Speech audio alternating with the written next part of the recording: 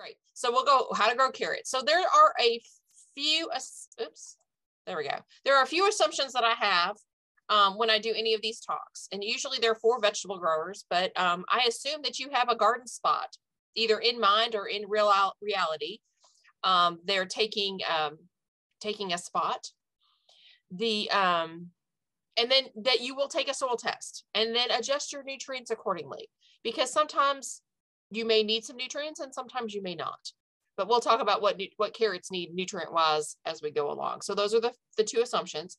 Um, if you haven't taken a soil test you can take it to your local county extension office and they will be happy to um, take that take that soil for you and do um, great things with it and tell you what to do. So where to plant. There are lots of places you can plant carrots. The thing is, you kind of want a deep soil. You can plant them in raised beds where you have a, a greatly amended soil with compost and peat moss and cow manure and all of those other things. Um, and they work really well if you have a square foot garden.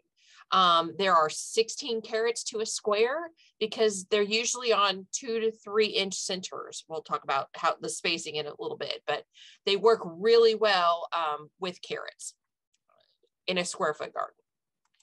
You can grow them in a pot, in a container. You just want to make sure that your container is about 10 or 12 inches deep because if you get those really long carrot seeds, you're going to want them not to break at the bottom.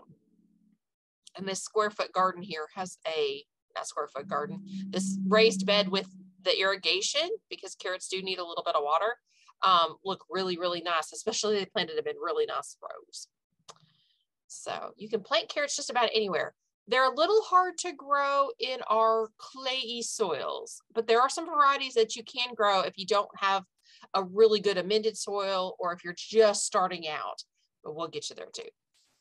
Okay, containers, they need to at least be 24 inches by 36 inches by 10 inches. Eh, they don't have to be that wide or that long, but they need at least to be 10 inches deep. Um, a good container mix is compost. Coir could be perlite. I'm sorry, coir can be peat moss. Coir is that brown outer husk that they use um, for um, of the coconut. They use that as a as a potting mix. Um, perlite will get will lighten that up a little bit. And you have to use a balanced fertilizer when you're working with containers.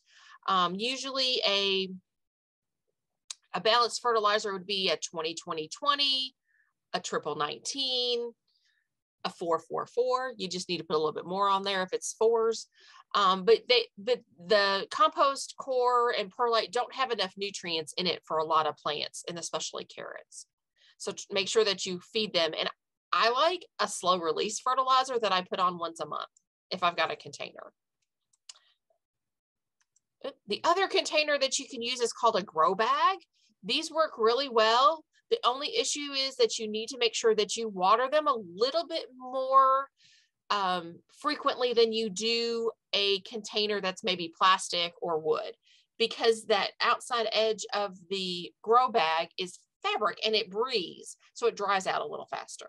But carrots do really well in grow bags and the cool thing about grow bags or, or pots is that when you want to harvest your carrots you just dump them out sort through the soil and put the soil back in there and then you have pretty clean carrots uh, potting mix is not uh, very dirty and it's easy to wash off those carrots so we got where to plant them, when to plant them. Carrots are a cool season crop. So we want to plant them um, in early spring. Now I'm in the middle part of the state. So according to our home vegetable gardening guide in Kentucky, we can plant them about March the 20th, which is in a couple of weeks, which seems weird. Um, but you can plant them that early and you can plant them, the latest is July 15th. So if you are in the western part of the state, you can add a week to March 20th, so you can back it up a week to, um, let's see, March the 13th. Or you can, if you're in the eastern part of the state, you need to go a little later and maybe you're in the last week of March. Um, and the same for the latest. We can plant July 15th. If you're going to be in the western part of the state, you got a little longer season, you can go back to maybe the 20th or the 21st. And if you're in the eastern part, you need to back that up to like the 7th. because carrots are not a fruiting crop, they don't have like a flower with a fruit, they will tolerate some partial shade. So you're looking at about at least six hours of sun a day. They really like more, but it'll just take longer for your carrots to become edible or big enough to eat if they're in some partial shade. But carrot tops look really pretty in the garden too. So if you have a little bit of partial shade, that's great. Um, they like a one and a half to three inch spacing.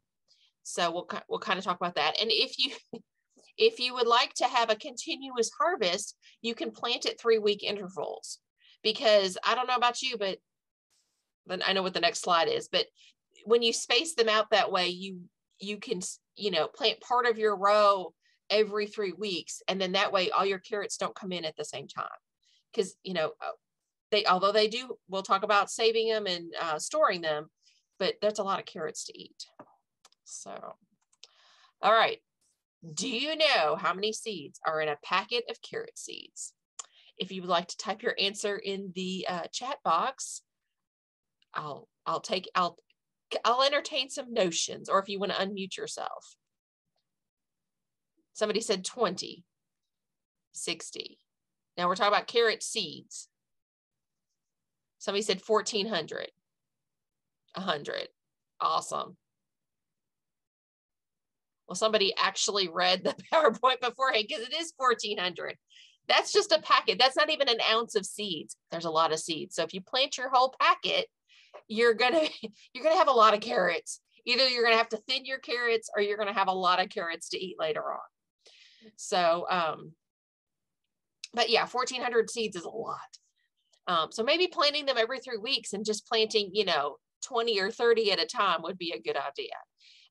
And we'll kind of, we'll, we'll, I'll circle back to, to saving those seeds a little bit too.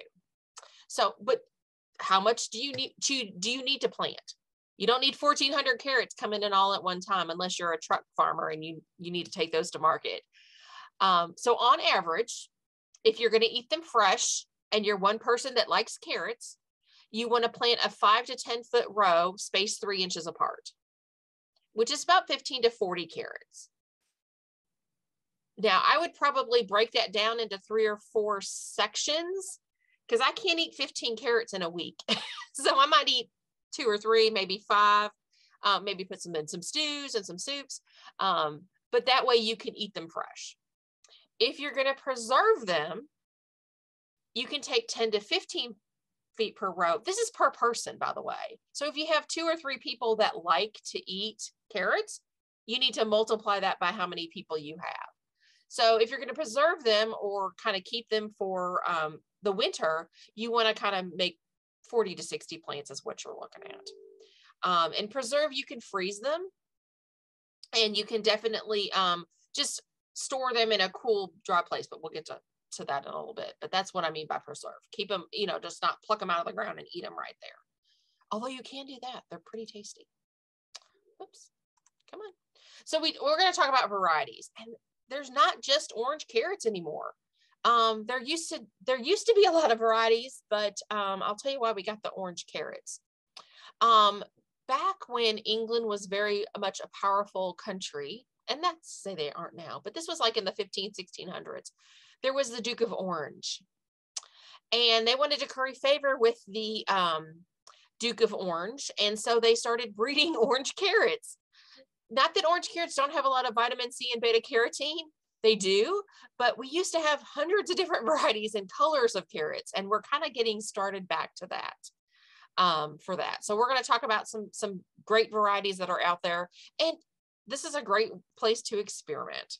So you may go out to the seed store and find Danvers half long, which are really good basic. It's one we recommend.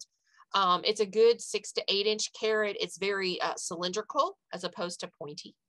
Um, and it does a pretty good job of growing in our heavier clay soils. Um, it, it's pretty, uh, pretty easy to grow. Um, it's it's one of those medium carrots. It's not a really short one. It's not a really long one. Um, it, but it has a good orange color, has a very sweet flavor, um, and it's good for a lot of things. Um, Scarlet Nantes is usually a very bright orange. It has great flavor. It's nearly coreless. So, you know, if you've chopped through a carrot and you see that big old core in the middle, this one doesn't have that, that problem. Um, it's good to pick early for baby carrots. Um, it's one of those that um, grows to about seven inches long. It's widely adapted. It'll grow probably across the country, and that's why it's very popular. And it stores well. And it's about a 60 to 75 day carrot. So if you think from planting to harvest is about 65 to 75 days. That's what you're looking for with a Scarlet Nantes. Now here's one of my favorite ones. I can get there. Okay. Um, this is deep purple, which is a very gorgeous color. That dark purple root with, it does have a core. It's lighter color, but it's fine. They're seven to eight inches long and they're tapered with a very sweet flavor, similar to purple haze. That's the other purple one that's not quite as purple um, but the color fades when it's cooked. So this would be great in a fresh salad. Um, can you imagine grating that into a carrot and raisin salad? That'd be very pretty. Um, very tall. So you, not that you have to stake these or, you know, prop them up, but they have pretty strong, healthy tops. Um, it's an imperator type, imperator, imperator type, which means that it's long and cylindrical. Um, and you can find this out in the garden centers also or seed catalogs has a lot of these um, for, for, for growing. Um, this one is Yellow Sun. This one's a little shorter and a little stubbier. Um, it does have a very sweet flavor, but it has that yellow color, which doesn't change when it's cooked. Um, I don't have any other notes on the Yellow Sun for there, but that's a pretty color. Um, there's a red carrot called Nutra Red. Um, it's more of a corally red but these are nine inch carrots. So if you're going to grow these, you need to have a very deep raised bed. These do really well in uh, pots. Um, they're the cool thing about these is that when you cook them, the color deepens as opposed to going away and it improves the texture. So this one might not be a good um, raw eating vegetable. It says it's great for stews and vegetable dishes, um, medium to small top. So it's going to be a little shorter. Um, and a packet is 75 seeds in this one. Um, it averages about 285,800 seeds per pound. It's a lot of seed. Um, but yeah, this uh, Red is um, would be good in stews and vegetable dishes, something where you would cook it to, to get that texture. It may be a little stringy if you eat it raw. White satin is a pure white root. Um, it has a crisp, sweet flavor, and they're about eight to nine inches long and it's adaptable to difficult growing to conditions. And this one is also very, has very tall tops. Um, so you're looking at probably 12 to 14 inches of green on the top to get your carrot at the bottom. Um, this one was fairly new a couple years ago, so I'm, I'm looking forward to trying this one out. Um, Atlas, this one is called a small round Parisian market type. The one that we probably think of in this shape is Thumbelina which was the first one that we had um, that was this round um, carrot.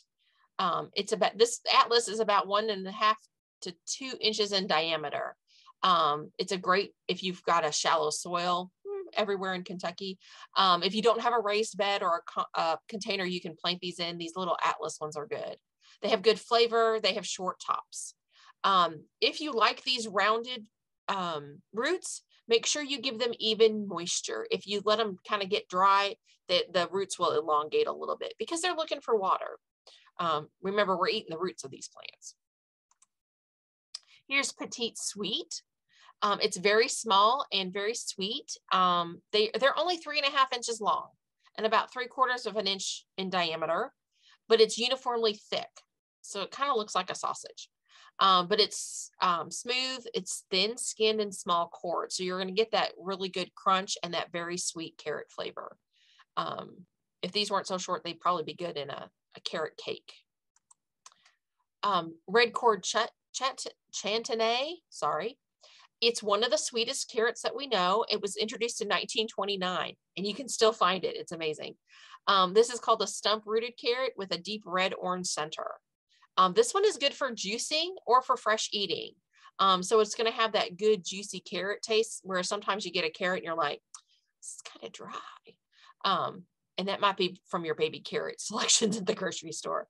Um, but yeah, I would try these over those little baby carrots at the store. um, very juicy, and they they tend to have that great taper um, of a of a of a carrot, the carrot, the essence of a carrot, but short. So, grow back to growing. We talked about our varieties. Critical watering periods are establishment. So as soon as you put those seeds in the ground, you need to kind of get them watered in. And as they start to grow, that'd be fine. They can dry out a little bit because you want those roots to go in. But as soon as that root starts to enlarge, that's the other time that you do not want to short them on water. You don't want to overwater them because then we get into some root rot issues. Um, but you do need to make sure that they have water at least uh, the, at those two periods of time as they're growing. Okay, thinning. So if you planted your carrots in a row, or sometimes people make like little tapes on paper or wherever to get them spaced. If you just didn't get them quite spaced out enough, um, you want to thin the plants to three inches when they're about, oh, a finger's width tall. And that's about three fingers width. Um, I always try to, I hate to take a ruler to the garden because it's brown and I lose it. So I try to figure out what's three, you know, three inches and that's about the width of three fingers. So I hate to say it, pluck them out in between those those plants um, and you'll get a nice bigger juicier more flavorful carrot. That way they don't have to compete for nutrients and water.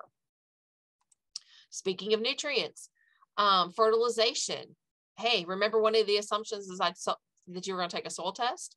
Well hopefully you followed that soil test and you have bring brought that uh, nutrients up to the recommendations sometimes we recommend not fertilizing for a while that's okay but carrots are pretty low nutrient needing and they don't need a side dressing of nitrogen because we're really wanting those really thick, nice textured roots. Um, and really nitrogen tends to go towards the to the uh, leaves and not to the root systems. So if you've got if your soil test says don't add fertilizer, don't add any, and you don't need to side dress. Insects. Oh, now we're into the pest problems. Well, you might get some aphids on there. Um, my first reaction, if I have aphids, and you can tell this is an aphid because it has two little tailpipes at the end. And those, those little dots are not antennae on the back. Those are um, recycled um, plant sap that the that the insect has eaten, and that's what's that sticky honeydew. So if you find that your leaves are a little sticky, you might look for these little bugs. They don't necessarily have to be yellow. They can be the same color as the leaf. They can be this limey green. They can be dark black or gray. Um, sometimes they're pink. So if you have aphids, the best thing to do, A, is to spray them off with a hose of water. Because once they get knocked off, they're not more, they're not likely to get back on the plant. And then just insecticidal soap will usually take care of these because it gives them a bad case of dishpan hands. So it cracks open their exoskeleton and they dry out. I know that sounds gross, but they're insects. It's okay. Um, so aphids might be a problem. None of these insects are going to be a huge problem for any um, any carrot growers out there. You might see some cutworms, especially if this is a newer garden. Um, and cutworms do that. They just, they literally just eat through the stem of the plant. And then you'll see the stem laying on the ground. You're like, what ate that? If it was a rabbit, the stem would be gone because the rabbit would have eaten the stem. But if that stem is still there, this is the cutworm, and you can usually dig around in the soil somewhere nearby and find it. They, they usually only have enough energy to eat one plant in an evening or a night, and then they dig back in and hide during the day. So if you start to see some of these kind of falling over, look for a cutworm.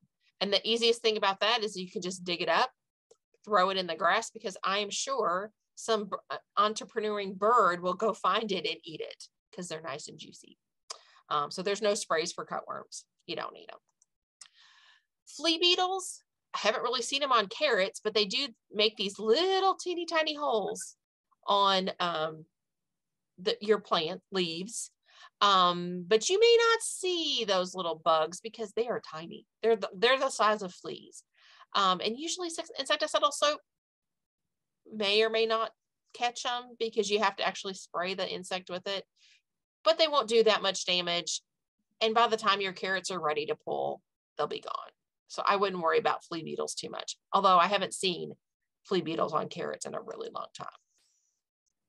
The one I would probably look out for would be root maggots.